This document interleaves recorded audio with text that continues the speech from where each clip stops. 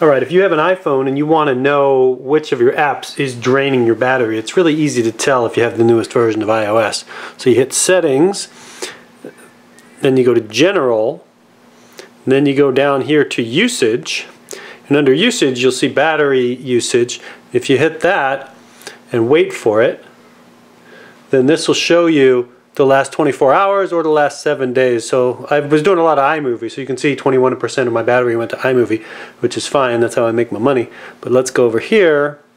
Last seven days, mail, Facebook, the home screen, camera, Safari, photos, iMovie.